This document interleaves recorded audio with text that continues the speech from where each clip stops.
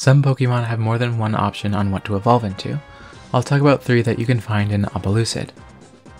Cubchoo is a cute little guy who always has a runny nose. If the snot is sticky, Cubchoo is feeling well, but if it's watery, the Pokemon is sick.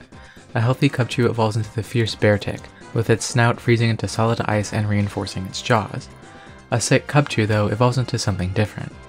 The snout becomes a cloud of disease that overtakes its body, giving the Pokemon a perpetual discomfort. The virus takes over its brain, forcing it to spread the disease at all costs. When this Pokemon sees another living thing, all the bear can think to do is eat it or infect it. So when a Cubchoo levels up to level 37 while poisoned, it evolves into Bear Sick. Bear Sick is an ice poison type Pokemon with the abilities Poison Point, Poison Touch, and hidden ability Swift Swim. It learns a move called Common Cold, which is a weak ice type move that always poisons its target. Bear Sick is pretty rare to see in the wild, but when it is, efforts are usually taken to neutralize it, usually by extermination. Bearsick is capable of poisoning an entire village, and has even been known to stalk and hunt lone humans. Anything that falls into the cloud near its body is vaporized and presumably consumed by the Pokemon. Unfortunately, Bearsick isn't quite as fierce when put up against other competitively viable Pokemon. Slow ice types are bad, and while Swift Swim could help it, it doesn't really make up for its middling offensive stats. Even if it had a strong typing, Bear Sick's defenses, especially physical, just aren't good enough, even with its great HP, to work well in OU. Maybe this Pokemon could be a strong wall in the lowest tiers that chips opponents down with poison, but it's more likely that people would run something offensive with Swift Swim. Whirlipede is a wheel-like Pokemon with a hard shell that can crash into opponents at high speeds. It prefers to stay still so it can store up the energy it needs to evolve. With no additional influence, it'll evolve into Scolipede, a fast and fierce Pokemon that attacks relentlessly. But if Whirlipede is given strict training at a certain dojo that tries to teach patience and planning to Pokemon, it will evolve into something different.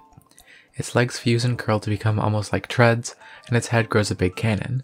It can shoot all sorts of moves from this cannon, which evolve from a horn-like antenna. So, when Whirlipede gets training from a specific dojo and hits level 30, it evolves into Artilipede. Artilipede is a bug poison type Pokemon with the abilities Mega Launcher, Swarm, and Speed Boost. It has a signature move called Chitin Cannon, which is a strong bug type special attack that slows down the user and hits the opponent on its physical defense. It's a big hard cannonball that's powered up by Mega Launcher. Artilipede is a trained warrior that fights with discipline. It's a slow and calculated fighter that does well fighting slow with a plan, but not so well against fast and powerful attackers. This also reflects in competitive battles. Artilipede has great hit-taking abilities, but not so great offense, so it can do well in a slow-paced fight thanks to its poison typing. While Bug brings it down for the Stealth Rock weakness, it's nice to not be weak to ground. Against Hyper Offense, it's not as great and its weaknesses get really accentuated. To be fair, it's really not that great either way, but maybe in lower tiers. Gurdurr is a heavily built Pokemon that loves to carry around a metal beam. It uses it to train and demolish buildings, usually doing both at the same time. A Gurdurr with a knack for shiny things might do some things on the side though. It might pick up metal bits and bobs during demolition and keep them somewhere safe to admire them. Some trainers have found that Gurdurr are surprisingly good at helping out in other areas of work, especially welding. One Gurdurr gave its metal hoard to its trainer, who helped weld it into a sword and a set of armor. It seemed to be enough to simulate a new evolution. So a Gurdurr given a particular set of armor made from its steel beam will evolve into Sabescalibur.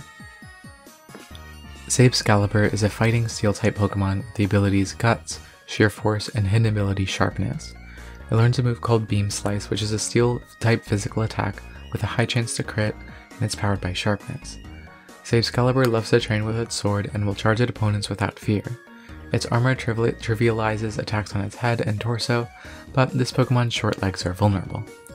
Its stats are similar to Conkeldurr, but it fights very differently. With sharpness, it can dominate with Sacred Sword and power up with Sword Stance.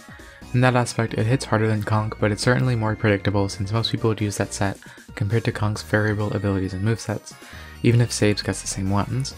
Hope that makes sense. But that's all I got for this video. Check out my Patreon, which you can subscribe to for just a dollar a month to support me and get your name at the end of my videos. Thanks Captain Kobop, Art of Dying, and Mr. Kill. In my next video, I'll make some cute little pre-evolutions. Hope to see you then, and thanks for watching!